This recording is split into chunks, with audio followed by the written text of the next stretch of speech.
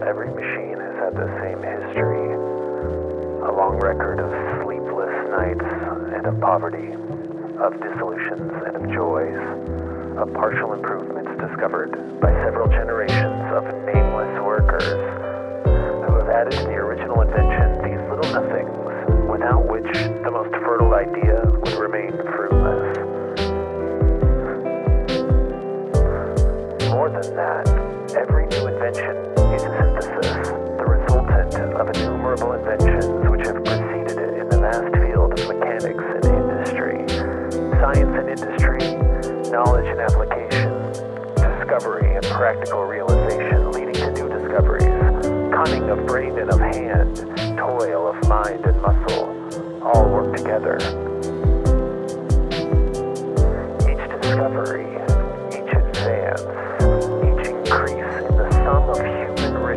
owes its being to the physical and mental travail of the past and the present. By what right then can anyone whatever appropriate the least morsel of this immense whole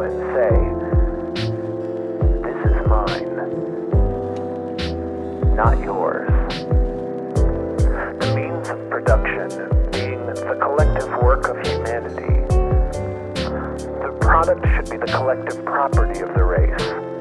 Individual appropriation is neither just nor serviceable. All belongs to all. All things are for all men, since all men have need of them, since all men have worked in the measure of their strength to produce them, and since it is not possible to evaluate every one's part in the production of the world's wealth.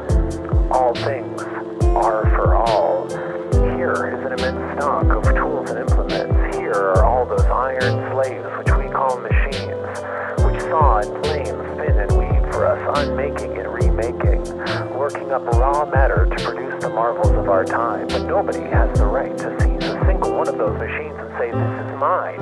If you want to use it, you must pay me a tax on each of your products, any more than the feudal lord of medieval times had the right to say to the peasant, This hill, this meadow belong to me. All is for all.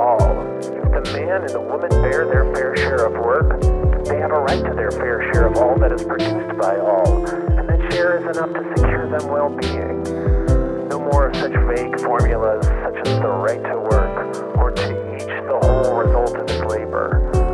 What we proclaim is the right to well-being. Well-being for all.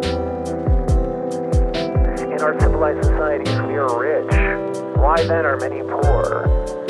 Why this painful drudgery for the masses? Why even to the best paid workmen this uncertainty for the morrow in the midst of all the wealth inherited from the past and in spite of the powerful means of production, which could ensure comfort to all in return for a few hours of